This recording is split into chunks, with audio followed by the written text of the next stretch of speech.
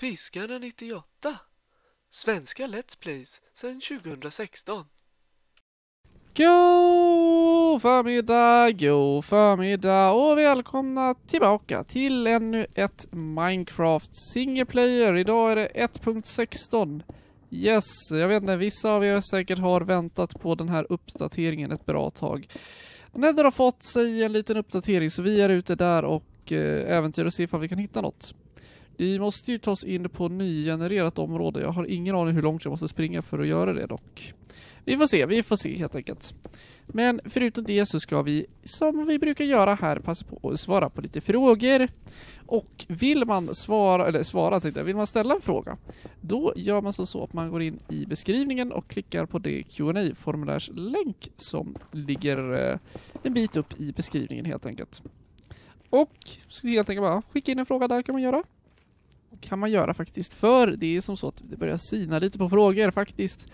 Det är inte så långt kvar innan, eh, ja, innan vi har slut. Så att eh, jag tar jättegärna emot fler frågor från er som tittar. Dagens första är skriven av en anonym och det är Ska du vara en snäll lärare eller en hård? Och för er som inte visste det, jag utbildar mig till lärare, högstadielärare faktiskt, i eh, kemi, fysik och matematik är det som mitt program heter så här. Sen får man väl se hur det blir med biologin sen i slutet. Det, jag vet inte riktigt hur det fungerar, men det är en annan sak. Men när det gäller kring det här med hård eller snäll, alltså jag vill vara en rättvis lärare faktiskt. Det är, jag känner att det är den rollen som jag är intresserad av att axla. Samt så är det viktigt att jag vill vara intresseväckande faktiskt. Det är snarare det att man måste ju få liksom eleverna att vara intresserade för sitt ämne och så. Och jag hoppas verkligen att jag är liksom väldigt bra på att väcka engagemang som kanske inte alla har samma möjlighet att kanske göra. Jag menar så här, det gäller liksom att det jag tycker det är något som betyder väldigt mycket mer för liksom inlärningsprocess och liksom att man ska tycka man ska tycka det är kul att komma till en lektion liksom. Man ska känna att den här läraren så som är rolig liksom som man kan lära sig så här. jag menar man är inte kanske liksom eh, alltså fullt fokus på ämnet konstant av, genom alla tider om man säger så. Utan ibland måste man liksom kunna ja, göra något så som man, man kanske alltså våga bjuda lite på sig själv och så faktiskt för att kunna få sina elever att tycka att det blir intressant. För jag menar en som egentligen bara står rakt upp och ner och bara babblar i princip. Det är eh, inte jätte, kanske jätte, jätte underhållande för alla och en del har kanske risk att man skulle kunna somna exempelvis och så. Jag vet inte, har ni någonsin somnat till någon av mina Youtube-videos? Det skulle vara intressant att höra. Jag har faktiskt mycket såhär när man har typ legat i soffan och bara kollat på en surfplatta och så här varit framför att man haft en tuff dag, då har det hänt att man faktiskt har somnat framför någon video så har man vaknat upp och så ser man då har det gått fem videos sen man somnade typ. Nej men, jag känner så att det är så svårt att säga, den där bedömaren snäll eller hård, alltså. Jag vill vara liksom rättvis. Jag vill så här, hoppas att du är hyfsat nöjd med svaret. Jag förstår att det kanske inte riktigt är svaret du ville ha, men det känner att det är det jag kan ge nu faktiskt. För att, ja, det är så svårt att veta, vad är liksom det här? Vad är liksom så här, man säger så här, vad innebär en hård lärare? Egentligen är det så att så fort någon gör något fel så är det kvarsittning i princip, eller vad är det man, vad är egentligen så här definitionerna? Ja? Det, är liksom, det, det finns så många olika sätt så, så här, som man liksom kan vara en hård lärare på det sättet. Men vi går vidare till nästa fråga. Den är också en anonym och det är vilken typ av lärare utbildar du dig till? Och som sagt, jag läser till högstadielärare i kemi, fysik och matematik. Det är i alla fall det som är min ämneskombination. Eh, nästa fråga här, det verkar vara en... Oj! Wow! Det här känner jag att det här är ett nytt mobb verkar vara. Himla gris med... Eh, eh vad heter det då? Armborst. Är det de gamla Zombie Pigments som har fått en ny restaurering i 1.16? Jag är inte alls insatt i den här uppdateringen faktiskt, måste jag erkänna. Är det så? Nej, för där har vi ett vanligt. Okej. Okay. Vi gör så, vi sätter en liten fackla här. Och så sätter vi en fackla där och så hoppar vi vidare. Nej men så här, det här är en fråga som är, eh, ja, det är en fråga som vi har haft tagit upp tidigare faktiskt. Eh, vad anser du om telefoner hos unga? Är det för tidigt eller för sent? För tid eller för sent? Ja, alltså vad menar du med för, tidigt? eller liksom, du, när menar man då? Det känns som man måste ju ge typ en ålder eller någonting sånt där. Och jag säger mycket handlar liksom om jag skulle säga så här som jag tror som jag nämnde. Aj! Nej, nej, nej, nej, nu gick jag in i lavan. Som jag tog upp eh, i förra avsnittet när vi diskuterade här att när man känner sig, när de känner sig redo, alltså när föräldrar anser att mitt barn kan hantera sånt här. Det är väl det korta svaret, tänker jag, som jag känner att jag vill ge. För att vi hade ett jätteutlåtande om den här frågan faktiskt för ett par avsnitt sedan faktiskt. Det kan man kika tillbaka på om man vill höra mer i diskussion kring sånt här med telefonanvändande telefon och användande hos unga faktiskt. I alla fall lite där jag resonerar lite djupare. Eh, nästa fråga är ifrån den är också eh, anonym och det är Är ditt namn fi av fiskare eller fiskar? Det stavas samma om du skriver fiskarna. Det här är en väldigt, väldigt bra fråga för den här, eh, ja. Jag vet inte om det är så om folk inte orkar bry sig eller för att lära sig eller för att folk bara helt enkelt eh, sk- eh, skiter vilket. Jag vet inte. Men det är det här att vissa säger ju fiskan. Har jag hört ett antal gånger. Och mitt namn alltså fiskarna, det är, jag syftar till fiskar, alltså djuren som lever i havet helt enkelt. En fisk, flera fisk, alltså fisken, fiskarna.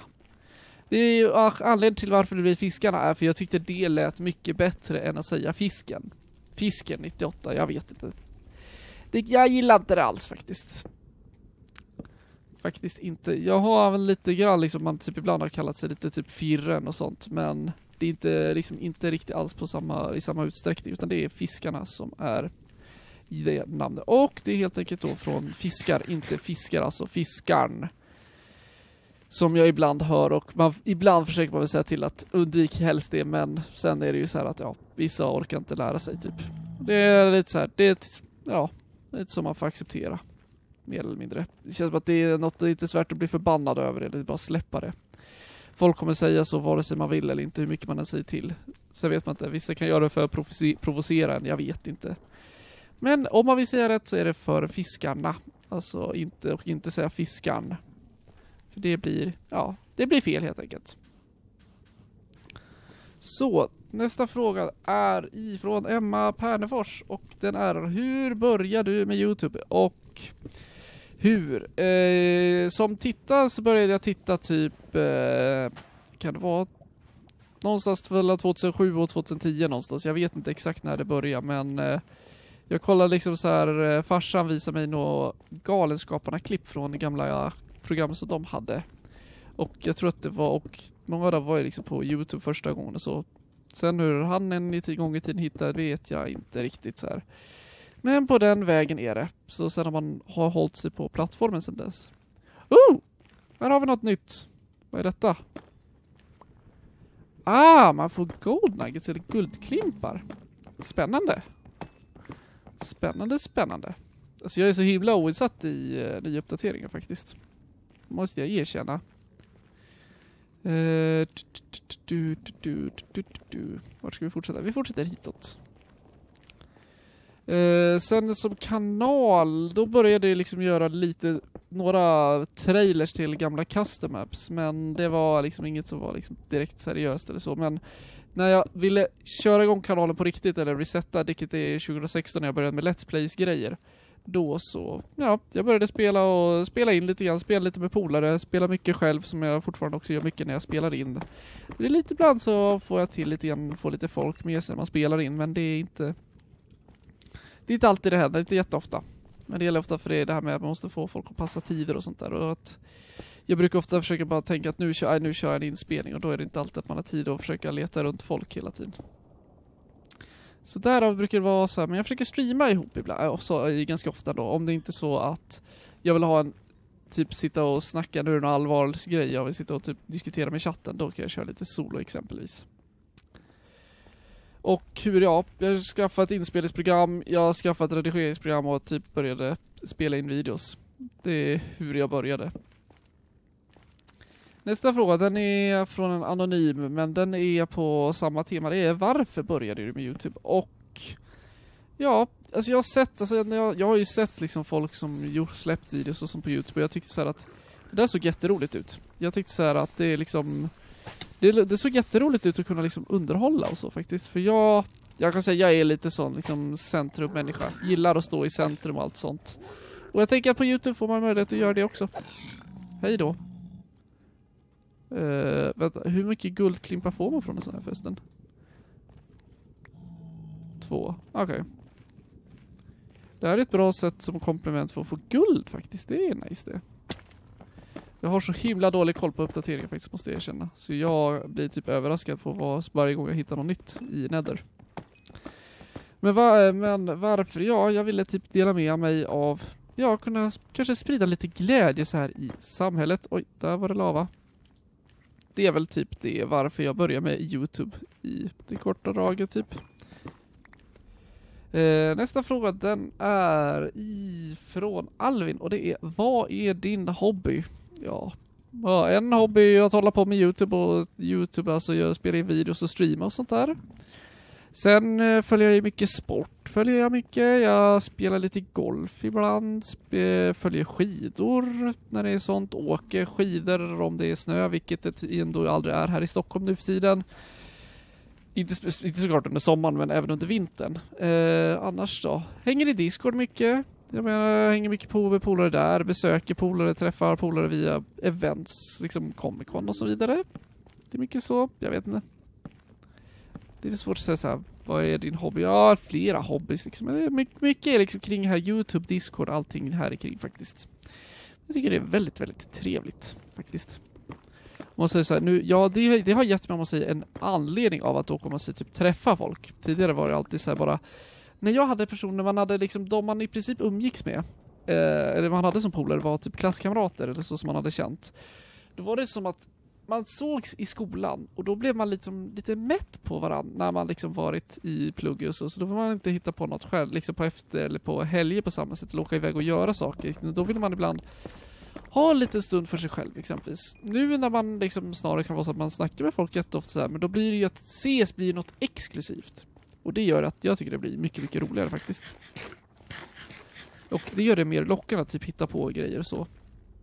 Sen har det väl också lite med ålder att man känner att man kan göra mer saker, man har mer pengar att typ röra sig med och så vidare och så vidare. Eh, nästa är från en, så den här har annickat sig anonym. Det är, vad är det för mick du, äh, du äger för tillfället som du spelar in ditt ljud med? Och den här är skriven i mars i år, så det är samma. Det är en Sennheiser E935 ska det vara. Korrekt. Jag behövde bara kolla under micken bara för att se så här att det var rätt siffra.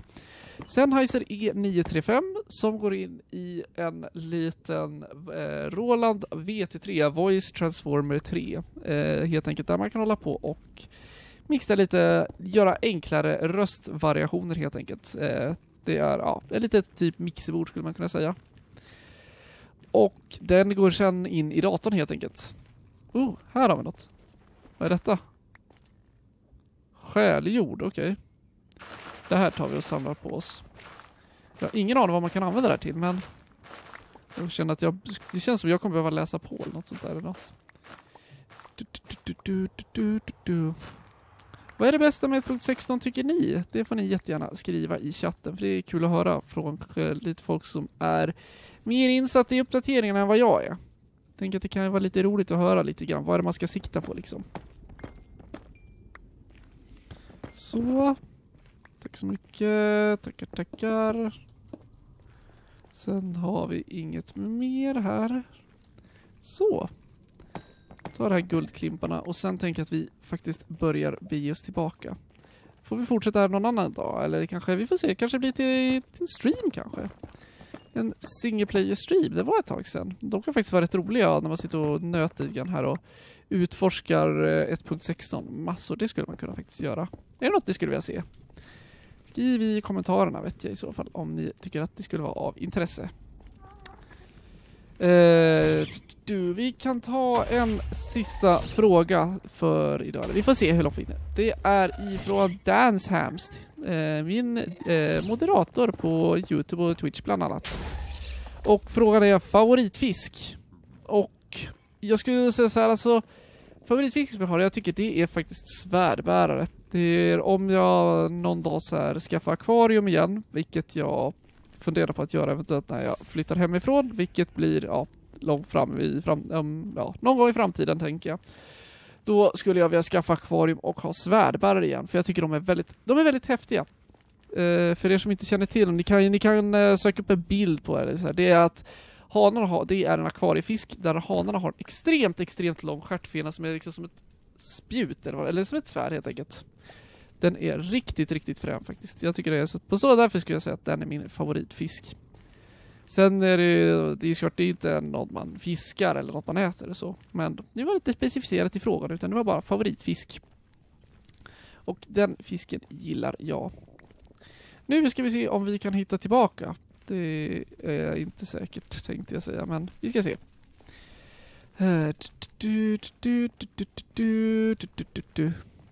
Där har vi. Där har, har vi facklor.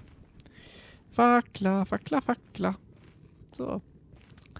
Men med det sagt så ska vi faktiskt ta och börja runda av dagens lilla avsnitt här från Singleplayern. Med att säga att vi har hittat lite nytt i alla fall. Vi kommer fortsätta utforska 1.16 mer framöver. I, jag vet inte om det blir videos eller streams, vi får se. Men där ser vi att vi har kommit, så vi har kommit till nygenererade områden. Det finns mycket, mycket mer i 1.16 såklart. Jag har sett bilder men eh, jag, jag, jag kan erkänna, jag har varit alldeles för oinsatt där och inte brytt mig tillräckligt. Jag har inte, jag har inte varit så hypad på det faktiskt, kan jag erkänna. Yes, så är det faktiskt. Så vad säger ni? Vad ser ni framåt mest med 1.16? Eller vad är det bästa? Jag det vore jätteroligt att få höra faktiskt. Sen så kan jag också passa på att eh, om det var så att ni inte fick eran fråga eh, besvarad idag så kommer den mycket väl i ett framtida avsnitt och skriv gärna en fråga vet jag till eh, framtida avsnitt så vi får några avsnitt framöver för vi får se här hur mycket frågor vi har just nu. Det är eventuellt inte säkert det räcker till ett till avsnitt just nu men eh, vi får se. Det kommer ett avsnitt eh, av Q&A i något spel när det kommer helt enkelt. Så, gillar ni avsnittet får ni jättegärna trycka på tummen upp och så kan du också trycka på prenumerera-knappen om ni inte redan har gjort det. Så inte ni missar nästa spännande avsnitt här från min lilla Let's Play. Jag får önska er alla en fortsatt trevlig dag och så får vi synas i ett helt annat avsnitt en helt annan dag helt enkelt. Tack för att ni har tittat och vi syns i nästa avsnitt. Tack för att ni tittat. Adjö, adjö. Fiskespö. Hej!